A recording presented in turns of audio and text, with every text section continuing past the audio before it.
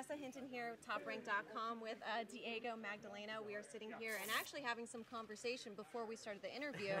Um, he did not want to stop unwrapping his hand. So here we go.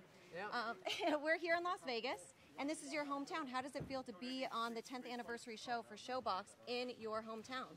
You know what? It feels really good because uh, there's a little pressure. I wanna uh, I wanna give the fight to to the my hometown uh, crowd. You know, they're always there. They're very supportive, and uh, you know, I like to do them a favor as well. Well, they were saying uh, to me earlier that your power is just getting better as you advance, and usually that's not the case for most fighters. Do you owe a lot to Pat Berry, or are you just naturally gifted that way of having more power as you get uh, further along in your career? Uh, you know what? I like to give uh, credit to my Wheaties. I've been ta eating my Wheaties every morning, so.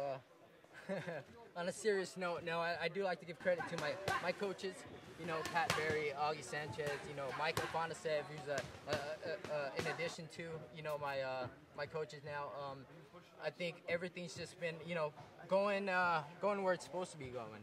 Um, my, my, my punching power is definitely, uh, um, you know, a scare to everyone out there in my division. Right, your name is becoming well known, and everybody's starting to say that you are in the top 10. I mean, that's that's an honor. You know what? It, it, it's kind of it's motivating to hear that. Um, you know, the top 10. Uh, I always see myself, uh, you know, at at two going for number one, and even the day I become number one, I'm always shooting for more.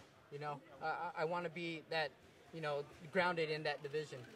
Well, talking about your power, you are naturally right-handed, and you switched to southpaw stance. Yes. How does that benefit you in the ring? You know what? It, it does. It throws him off because uh, my power hand is lies up front. But recently, and uh, you know, over the years of training, I've been, you know, putting a lot of pop into my left hand. So now I have two strong hands to work with.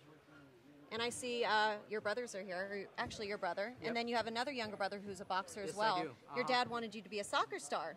you kind of flipped the script and went a different way, but still competitive. Um, how does it feel to be a role model to your brothers, and how does your dad take everything now? You know what? Now, now that my dad's warmed up to the fact that I'm, you know, a boxer, not a, uh, you know, a soccer star, um, I think it's it's great. You know, he he looks at at me in a, in a way that uh, you know that I can uh, push and motivate my younger brothers as well. Um, they, they love to do it. They're right there behind me. They're in the gym with me, and uh, we just feed off each other.